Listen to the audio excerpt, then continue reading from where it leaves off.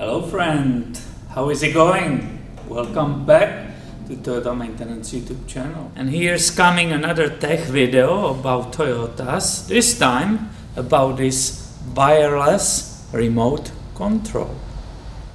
In different video on this channel I showed you how to program this unit to communicate with the car and in this video we will be replacing the battery. If you look in your owner's manual, you will find out that this remote is using these small batteries and the model is CR2016. So let's go together to see how to open that remote and replace that battery. And it's pretty cool because to open this transmitter you don't even need any special tools. That Toyota manual even shows you in one of those little pictures that you can use the coin to pop it open. Who says that the penny is worthless, huh? It's a special tool for Toyota repair. And on this side, the opposite of the ring, right, right here, is like a little opening. So if I put that coin in it and turn it sideways, look, it's separated, the case, the transmitter separated right here, and I should be able to move the bottom from the top.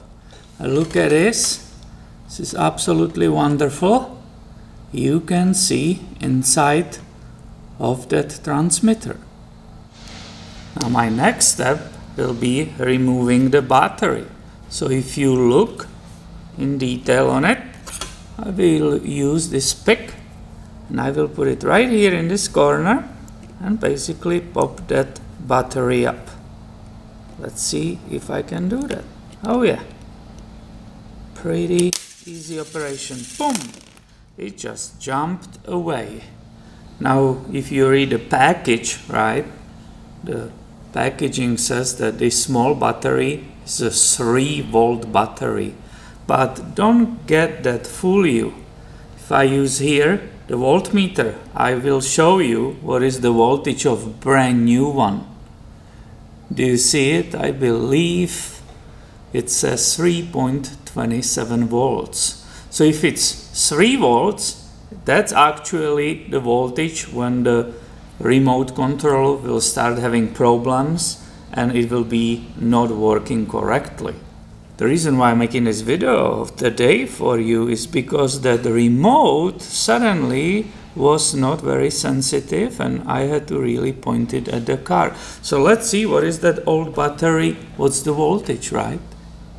And if I'm looking correctly on my camcorder, it says 3.02.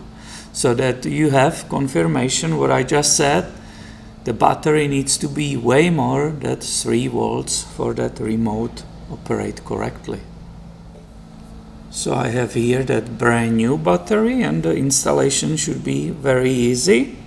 The plus goes up, right? We saw it in the video and I will be just inserting it this way until it catches its place. Oh, did you hear that? Perfect. Now I will just continue, right, the way I took it apart. I will go the opposite way. And you heard a click, click, right? I squeeze it together. It's nicely all closed. There should be not any moisture getting inside.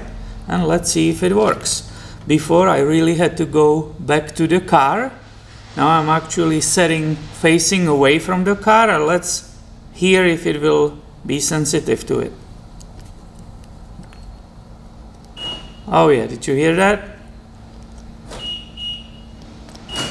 The car perfectly reacts despite the fact I'm basically facing the other way. Wonderful, this was successful repair.